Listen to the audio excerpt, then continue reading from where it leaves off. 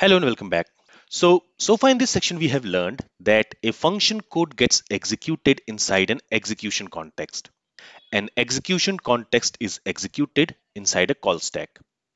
And an execution context is created in two phases, the creation phase and the execution phase. During the creation phase, JavaScript engine scans over the function code and for each variables, parameters and functions, it creates a property in the variable object and it assigns it with some initial value. If the variable or function is created using var keyword, it will be assigned with undefined. But if the variable or function is created using let or const keyword, it will be assigned with uninitialized. And if the function is created using function declaration syntax, in that case, that function is assigned with a pointer to the function definition. So this all happens during the creation phase. And during the creation phase, the lexical environment also gets created using which during the execution phase, the scope chain is created. And during the creation phase, the value of this variable is also set with some initial value. Now, after the creation phase is complete, the execution phase of execution context starts. And in the execution phase, JavaScript engine will scan the function code again and this time it will set the variables and functions declared in that execution context with their actual values. Okay? And then in this phase the function code is executed. So let's understand what happens behind the scenes. And let's understand it with a simple example. So here we have a very simple code. We have already seen this code in our previous lectures also so first of all, when this code will be executed in the browser by the JavaScript engine, JavaScript engine is going to create a global execution context for this code. And in this global execution context, inside the variable object, the first name and last name variables will be stored and it will be assigned with uninitialized. So this will happen during the creation phase and they are assigned with uninitialized because these variables are created using let keyword. And then in the variable object, there will be a property with the function name calculate age. And since this function is created using function declaration syntax, it will be assigned with a pointer to the function definition. All right, then the lexical environment will also get created. In the lexical environment, we will have an environment record, which will point to the variable object. And we will also have another property in lexical environment called outer, which will be set to null because since this is global execution context, here we have all the code which is in global scope. So there is no outer scope for global scope and that's why outer property of lexical environment is set to null. Then in the global scope, we have also learned that this variable points to the window object, the global object, when we are running the JavaScript code in non-strict mode. But if the code is running in strict mode, then this variable will be set to undefined. So this is creation phase of the global execution context. Now, once the creation phase of global execution context is complete, the execution phase will start. And in the execution phase, JavaScript engine will again scan over all the code written in global scope. And there in the variable object, it is going to set the variables and functions with their actual values, as you can see. And the value of this variable will also be determined during the execution phase only. And during the execution phase also, in the global execution context, this variable will point to global object in non-strict mode, and it will be set to undefined in strict mode. Now, from the global execution context, we are also calling this calculate age function. And when the calculate age function will be called, an execution context for that calculate age function will also get created. So now the execution of global execution context will stop and the execution of calculate age function will start.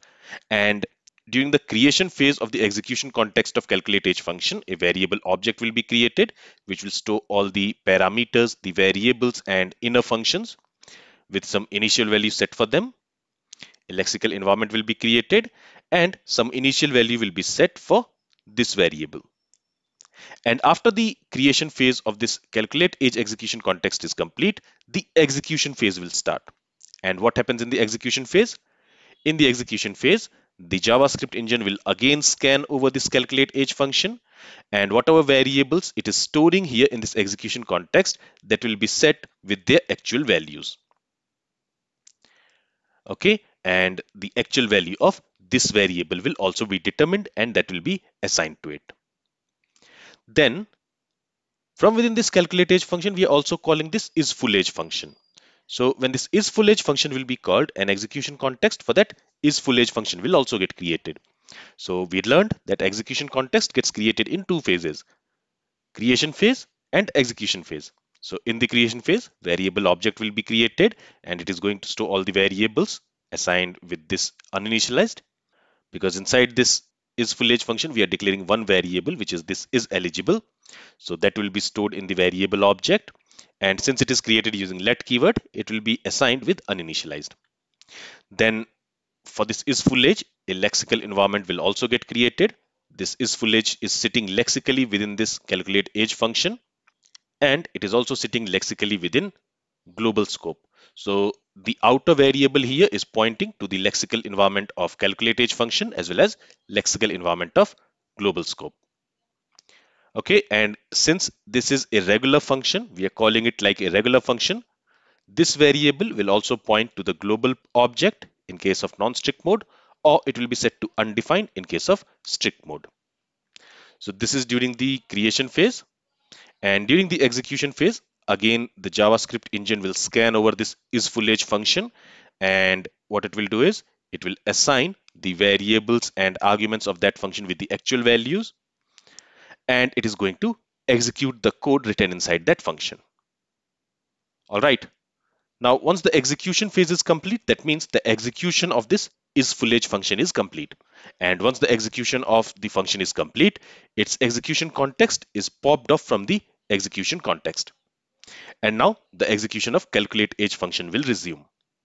So now this calculate age function is the currently executing function.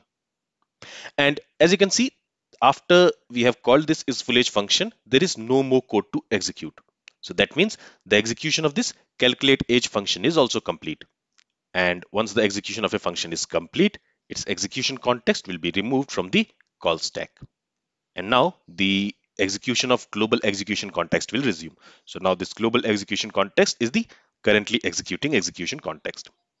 Now this global execution context, even if its execution phase is complete, it will still remain in the call stack as long as our JavaScript program is running in the browser. Only when the execution of JavaScript program is complete, that means once we close the tab where our application is running, then only this global execution context will be removed from the call stack. Otherwise, this global execution context will stay in the call stack as long as the JavaScript program is running. So now I hope now you understand how a function or a code is executed inside an execution context and how the execution context is created. It is created in two phases, creation phase and execution phase. So what happens in the creation phase and what happens in the execution phase, now you are already aware of. Now I know whatever topics we have learned so far in this section that is not easy to grasp and it might make beginners a little bit confused. So what I will suggest is you can go through the rest of this course if you are a complete beginner. You don't need to go through this section you can go through rest of the lectures of this course and once you're confident enough with javascript language then you can come back to this section and then you can go through each of these lectures again and if you're not understanding the concepts in one go i'll suggest you to watch these lectures two or three times and i'm pretty sure that if you watch these lectures two or three times these concepts will start becoming clear okay so this is all from this lecture. Now, in this section, I'm going to cover two more topics.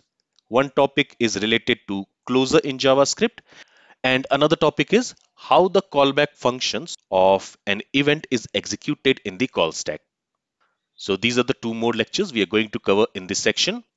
And I'm not going to cover garbage collection in this section. Instead, I'll cover it at the end of the course. All right, so this is all from this lecture. If you have any questions, then feel free to ask it. Thank you for listening and have a great day.